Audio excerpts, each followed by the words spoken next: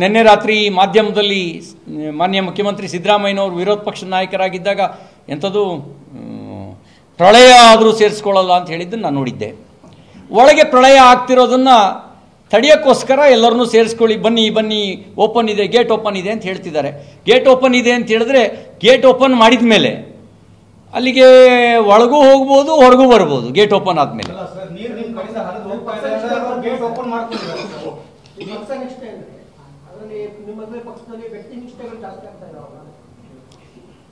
ಶ್ರೇಷ್ಠ ಅಂದರೆ ಪಕ್ಷನಿಷ್ಠೆಯೇ ಶ್ರೇಷ್ಠ.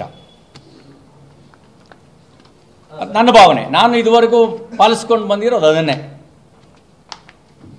ಈಗ ಬಾಗಿಲು ತೆರೆದಿದೆ ಅಂತ ಹೇಳಿದ್ರೆ ಆ ಕಡೆಯಿಂದ ಬರುವಂತವ್ರಿಗೆ ಬಿಜೆಪಿ ಅಲ್ಲ ಸರ್ ನೀರು ನಿಮ್ ಕಡೆಯಿಂದಾನೇ ಹರಿದು ಹೋಗ್ತಾ ಇದೆ ಅವ್ರು ಗೇಟ್ ಓಪನ್ ಮಾಡ್ಕೊಂಡಿದ್ದಾರೆ ಸರ್. ನೀವು ನೀರನ್ನು ಕಟ್ಟೆ ಹಾಕಿಲ್ವಲ್ಲ ಸರ್?